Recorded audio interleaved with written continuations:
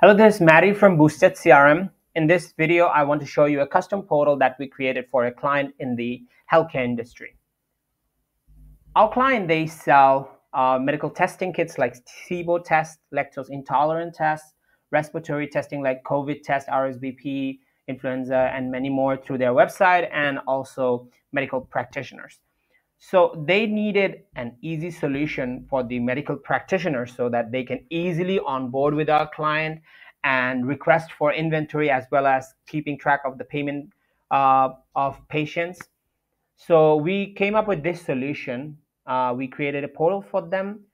With the help of this portal, practitioners can easily sign up and onboard with our client, request for inventory, keep track of the inventory, and also get payments and save uh, patient information.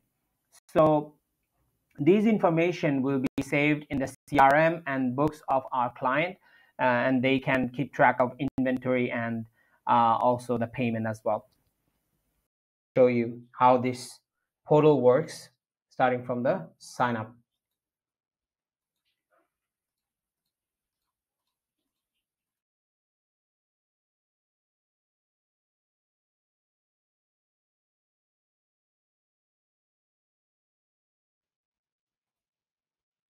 Uh, if I hit sign up in the CRM accounts module, an account will be created.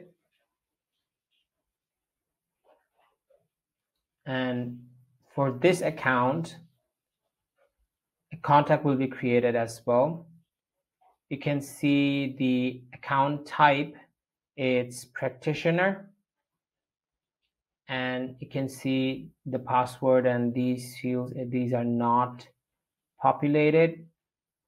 This practitioner if you want to give the portal access you need to come here and click on this access to portal checkbox hit save and then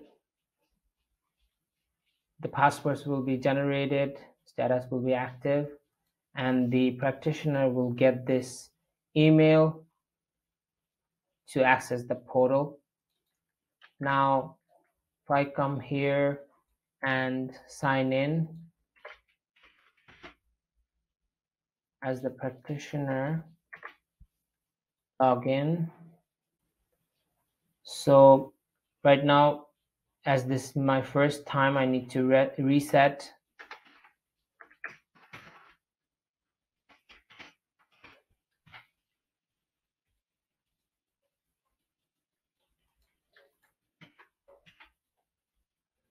reset. Okay. Right now I don't have any inventory.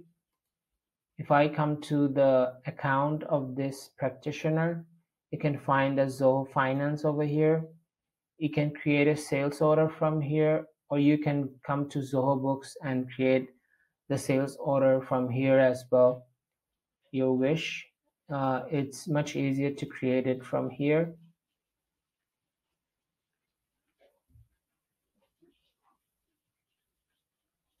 now I'm gonna add uh, the items.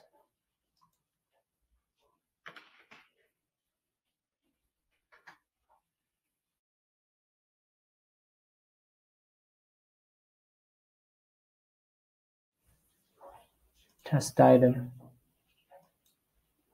Now I'm gonna add a quantity 15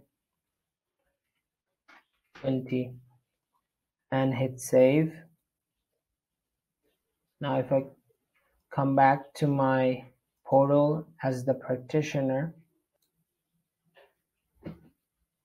I'll find these items in my dashboard. As you can see, the low stock is 5 by default.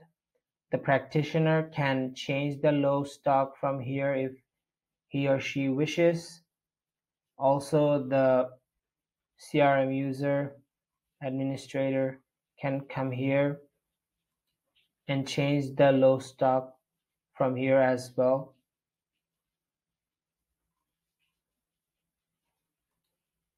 Okay.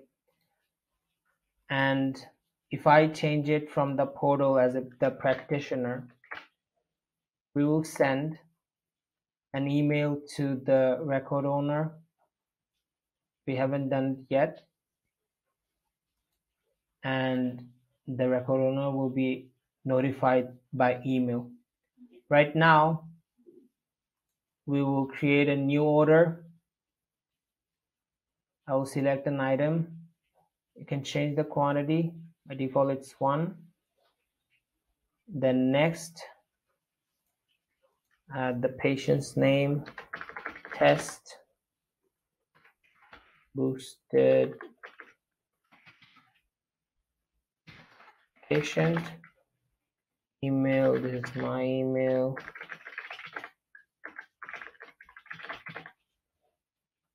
Now, if I hit submit, an invoice will be created in the Zoho Books and you will get this QR code. The patient can scan this QR code and then pay or you have this button called payment link. If you click over here, then you can directly pay from here.